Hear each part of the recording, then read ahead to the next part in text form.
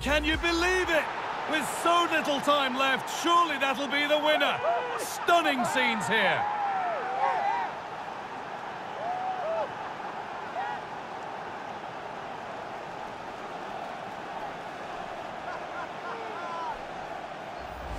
Well, here we can see it again, and he probably won't get an easier finish than that. But there was never any doubt that he'd put that one away.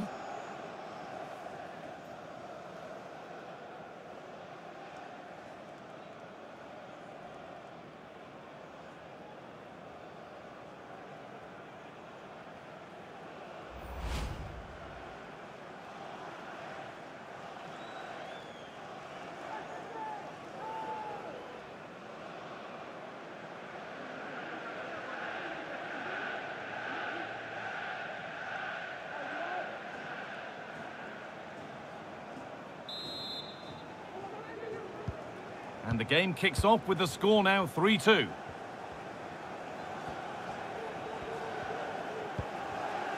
Marcus Rashford. There is the final whistle. Plenty of positives for them to take away, not least the three-point soup. Well, that was such a close game, really hard fought. It was difficult to know which way that was going to go, but they showed great belief to keep going till the end, and they got the deserved winner. Well, he has put in a truly magnificent performance today, nigh on unplayable. What are your thoughts, Sue? Yeah, well, he gave the backline a torrid time, didn't he? He was far too sharp for them, always looking to play on the shoulder, took his goals well too. Clearly the difference maker today.